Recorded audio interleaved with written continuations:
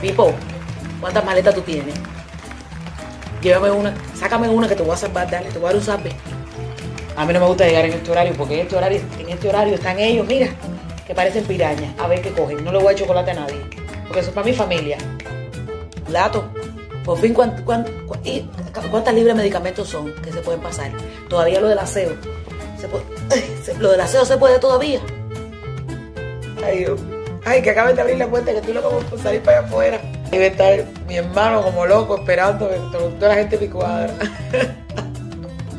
Ahora nosotros vamos en carro para mi casa, mira, dándole. Nosotros no paramos. Eso es fiesta, es fiesta. Ay, total. ¿Tú entraste este año con los 120 kilos?